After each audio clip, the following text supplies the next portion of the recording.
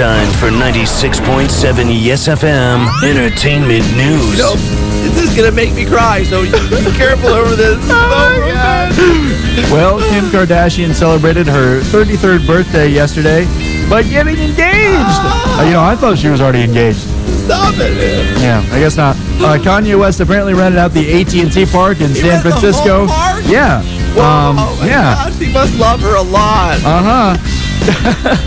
Kanye gave Kim a flawless 15 karat diamond ring. Oh, 15. Oh my And the Jumbotron flashed the, The message, Please marry me. Oh my gosh, did A it have 50 like more than one E? Yeah, it did, oh yeah. My God. A 50 piece orchestra also Wow, played Lana Del Rey's Young and Beautiful, Oh, my. followed by Keri Hilson Ne-Yo and Kanye's Knock You Down.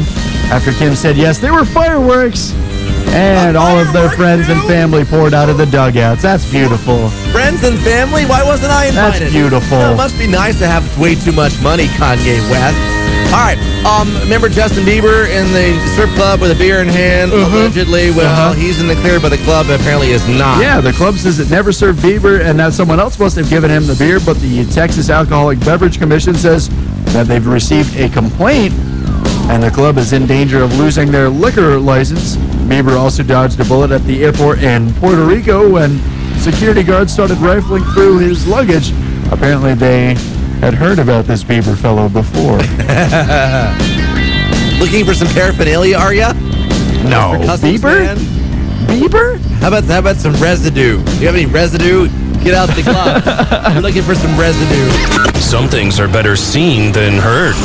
See Yes FM stupid and entertainment news reports now at the Yes FM YouTube channel. Get the link now at yesfm.com. 96.7 Yes FM. Look at that. You talk about Bieber, you get Selena. Slow down. Yes, FM. 644.